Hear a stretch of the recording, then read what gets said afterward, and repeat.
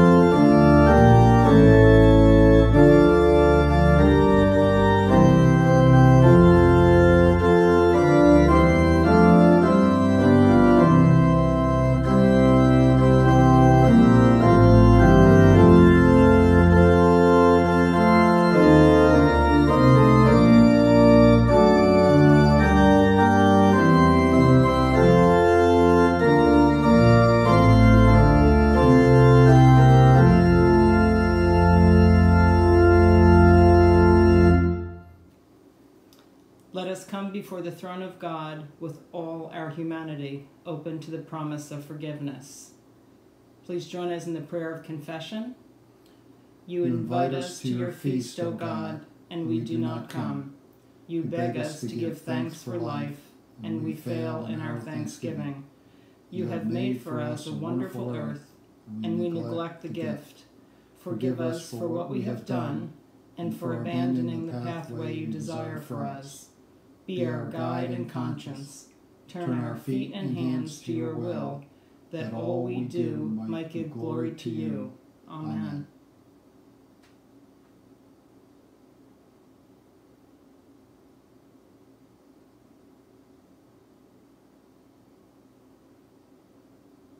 The God of peace, who calls all creation to live in unity, hears your plea.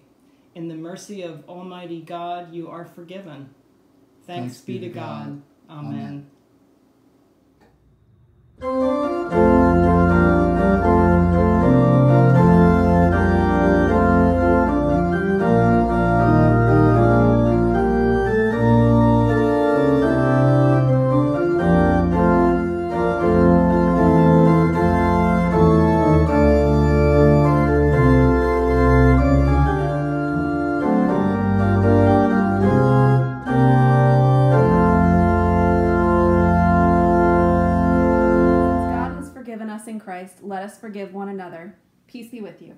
also with you.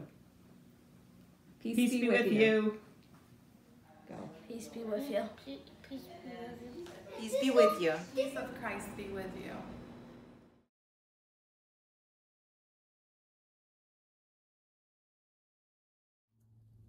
Hi kids. I'm in the church. You can see I'm in the sanctuary and I want to show you something. It's in the kitchen. So I'm going to go over there now. So just one minute. I'll be back in a flash, okay? Okay, so here I am in the church kitchen and maybe you've been in here before, but I wonder if you've ever looked through the cupboards. Let me show you what's in these cupboards. In here, uh, maybe you can see it a little bit.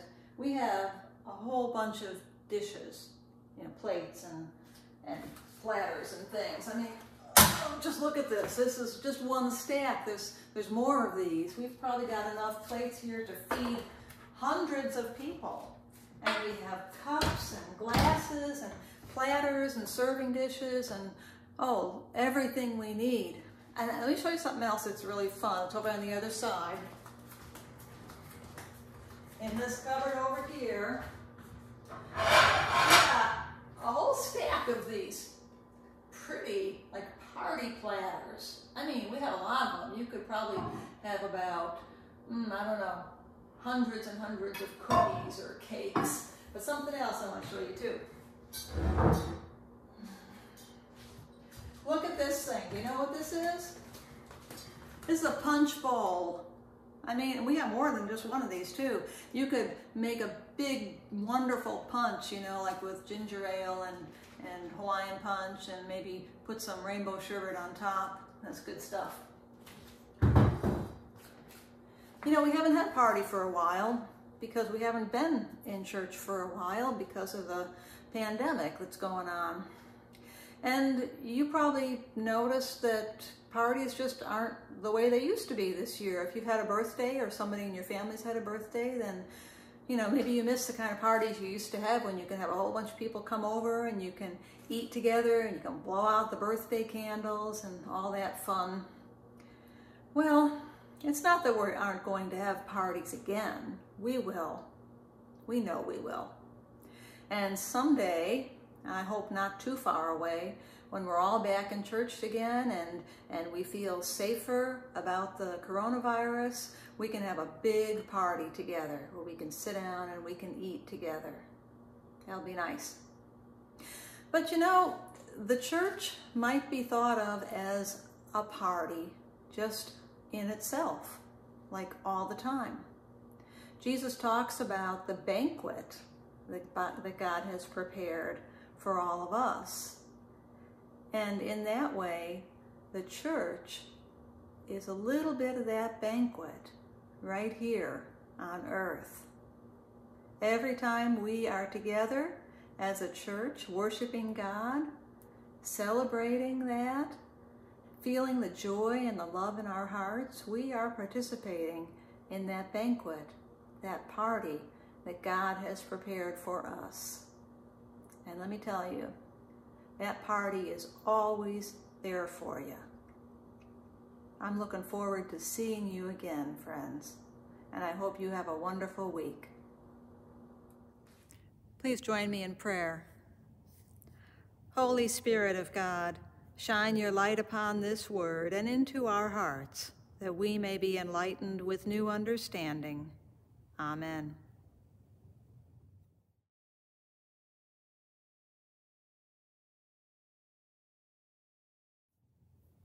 A reading from Matthew 22, verses 1 through 14. Once more, Jesus spoke to them in parables, saying, The kingdom of heaven may be compared to a king who gave a wedding banquet for his son. He sent his slaves to call those who had been invited to the wedding banquet, but they would not come. Again, he sent other slaves, saying, Tell those who have been invited, Look, I have prepared my dinner my oxen and my fat calves have been slaughtered, and everything is ready. Come to the banquet. But they made light of it and went away, one to his farm, another to his business, while the rest seized his slaves, maltreated them, and killed them. The king was enraged.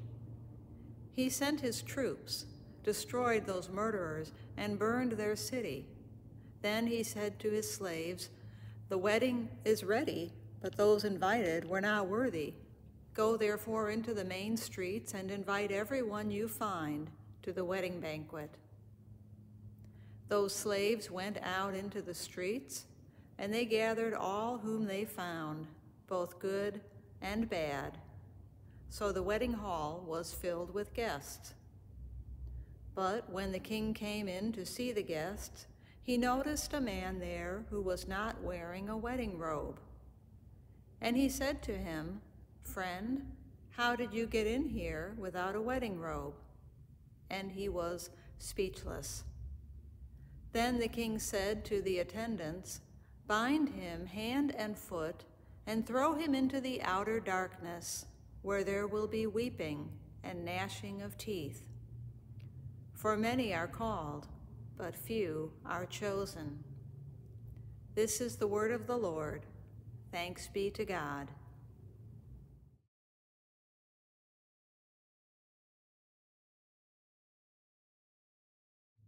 I think there's a good chance that you're familiar with this parable, but I'm going to venture a guess and say that you maybe didn't remember that part about the man who forgot his wedding robe.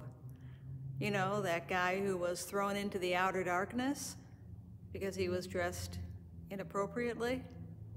Did you forget that detail? I know I try to. If I preach or teach on the parable of the banquet, I usually choose Luke's version because Luke didn't include all this nastiness, all this violence. Luke's is the G rated version of this parable, or I might say the good news that goes down easily, whereas Matthew is a story that gets caught in our throats, typical of Matthew. And yet, still, we might have some conflicting feelings about this story because I think there are some elements to this parable in Matthew that are very appealing to us, elements that resonate with our lives.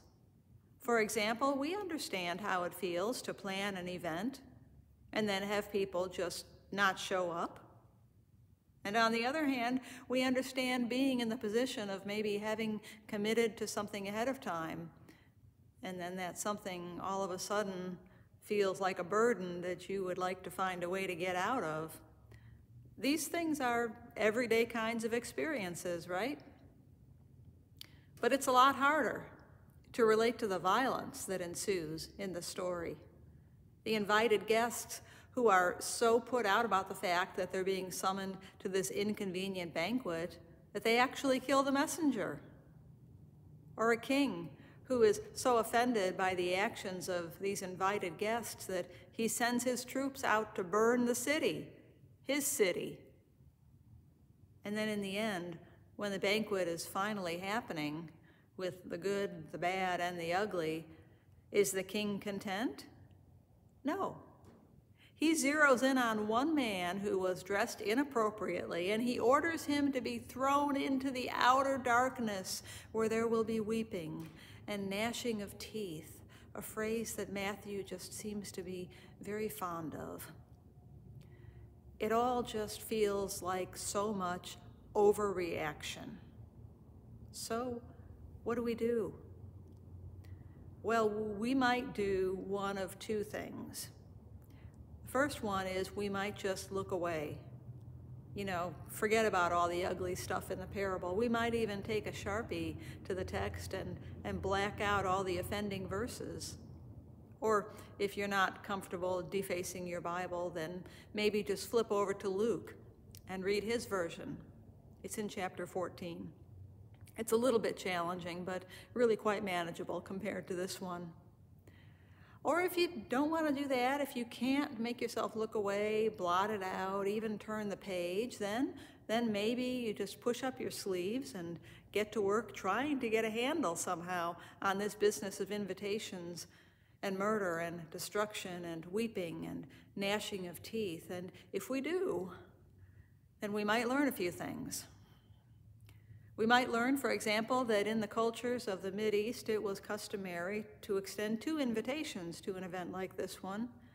The initial invitation would be to give the host a head count, and the follow up invitation was issued when the feast was ready to eat. And so refusing the second invitation, you see, would be quite rude. Basically, the same thing as going to somebody's house for dinner and then when you're summoned to the table, suddenly saying that you have other stuff to do and just walking out the door. And we might also learn that in that same culture, it was customary for the host to provide a wedding robe for each guest. And so this guy who's dressed inappropriately, it isn't as if he didn't have the right garment, unless, of course, he was a wedding crasher. Another thing that we might learn is that a common interpretation of this story is to allegorize it. That is, to say that everything in it is symbolic of something else in the world.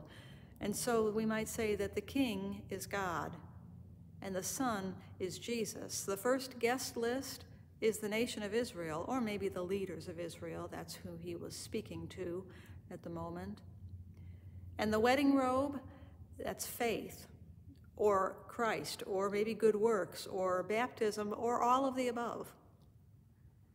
And so then the message of the parable might be that God has invited the people of Israel to be a part of the new covenant in Christ. And if they decline the invitation, they are writing their own death warrant. But even among those who accept the invitation, there are no guarantees. You know, just showing up isn't enough make a mistake, and well, then there could be weeping and gnashing of teeth in the outer darkness. None of this feels very inviting or loving. And that, I want to say to you, is important. It is important for us to pay attention to how we feel about the parable, more important even than figuring out the parable. Because a parable is not a secret message that's meant to be decoded and nailed down. A parable is, as I keep saying, meant to be experienced. It's something that falls alongside of our lives, close enough for us to relate to, distant enough to pique our interest. And it is that space in between, between the closeness and the distance, where something can happen. So, here we are, listening to the story about a king who wants to have a banquet for his son's wedding. And people don't respond the way they should. They don't follow through on their promises. They overreact with gratuitous violence. They are so put off by a message they don't like, they are willing to kill the messenger. And a ruler who is so embarrassed by his failure that he starts a war. Somebody who looks different, who doesn't follow the conventions, is vilified. Why? Why? Because these are the things that people do. These are the things that really happen in the world, that still happen in our world. Listen, if you have followed what's happened in Michigan the last few days, where groups of self appointed guardians of righteousness have schemed to storm the Capitol and kidnap the governor, well, then you know. It sounds like a parable, doesn't it? The parable is an observation made by Jesus of what he sees all around him, exaggerated to the degree that we cannot miss how disturbing it is. It is shocking. And that is the point. Somehow or another, it is necessary for us to get the point that these are high stakes. The world is in serious trouble, and God's calling is serious business. Jesus ends the parable with these words For many are called, but few are chosen. And again, maybe it's hard to know exactly what he means by this, what the difference is between being called and being chosen. But let me suggest to you that we hear it this way the call is an invitation to respond, and the choosing has something to do with our response. This parable works with the two parables that come right before it to tell us a story about invitations being extended and responses made. People saying yes and then failing to follow through. People receiving the good gifts of God and then failing to use those gifts for God's good purposes. People doing things that are destructive of others and therefore self destructive as well because you cannot hurt other people without also hurting yourself. You know, we might have thought that the parables of Jesus were just cute little stories, but they are so much more than that. Jesus' parables look unflinchingly at a hurting and broken world, a world that is in danger, and they call upon us to make a change, to repent. And underlying all of this is the knowledge that God is true to God's promises, and therefore this is not a blanket condemnation of the Jews. Don't go there. And that God's grace extends backwards and forwards and way beyond anything we can imagine. The truth of this is in the life, death, and resurrection of Jesus Christ. There is serious trouble in the world, my friends but God's grace is unbounded. And there is the hope. All thanks be to our God of amazing grace. Amen.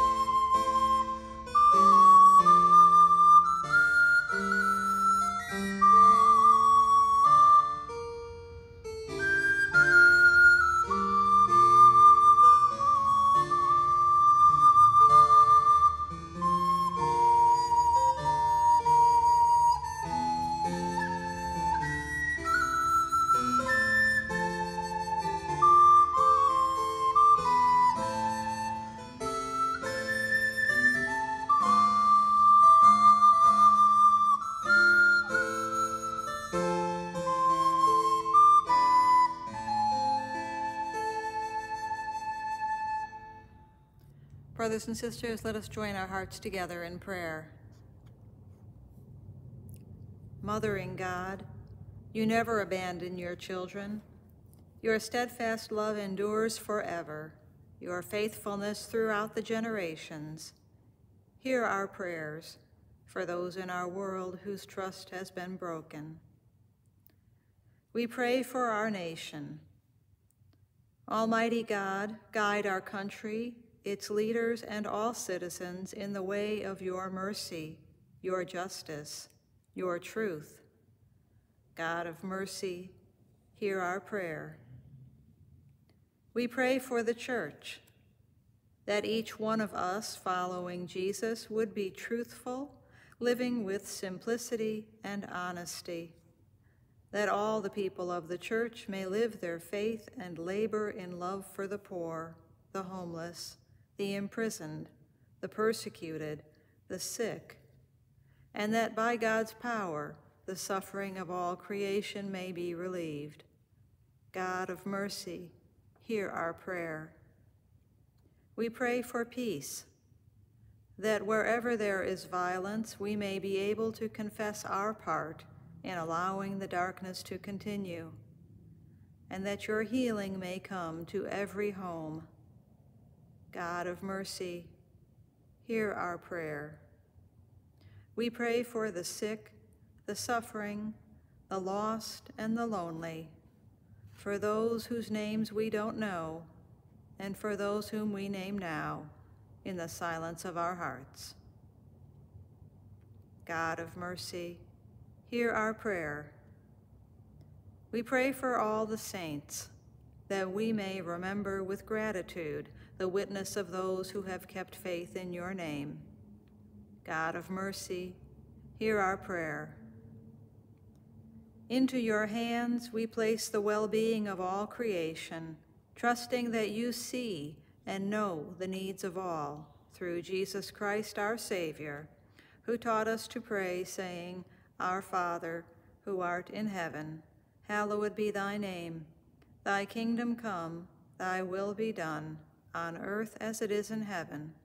Give us this day our daily bread, and forgive us our debts as we forgive our debtors.